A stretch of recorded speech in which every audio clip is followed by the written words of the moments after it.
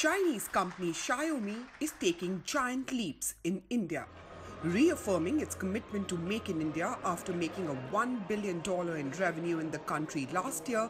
Chinese smartphone maker Xiaomi has announced its second manufacturing unit in partnership with Taiwanese electronics major Foxconn in the South Indian state of Andhra Pradesh.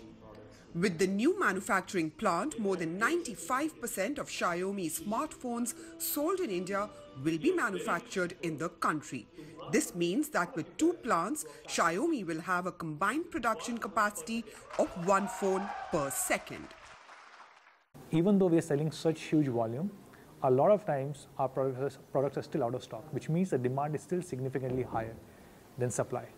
And that's one of the things that we realized last year when we thought of setting up a new plant because we said we're not able to fulfill. Our earlier plant was already running at more than 100% utilization and we were not able to meet this demand. So with this plant going live across both the plants, our combined capacity is one phone per second. Xiaomi scored big in the last quarter of 2016. Festive season saw it take the second spot in the Indian smartphone market. The company wants the number to go higher. Chinese companies have been shifting some of the manufacturing to India. Experts say this would be beneficial for India to build on its Make in India program. In 2014 September, there was uh, President Xi Jinping's visit to India and Pune and Ahmedabad were identified for manufacturing centers.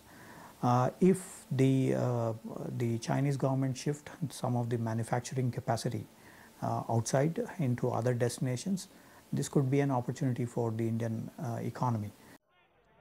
The Indian government has been making significant efforts towards achieving its agenda of Make in India and Digital India.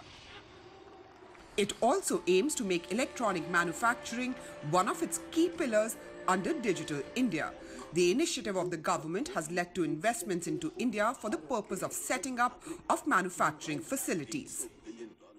The Indian government launched its flagship Make in India program in September 2014. Since then, it's managed to garner an investment of $90 billion. But it also aims to create 100 million jobs till 2022. And to be able to do that, it will have many roadblocks and it includes infrastructure development. With goods and services tax or GST being implemented in the month of July, many companies will use it to set up shop.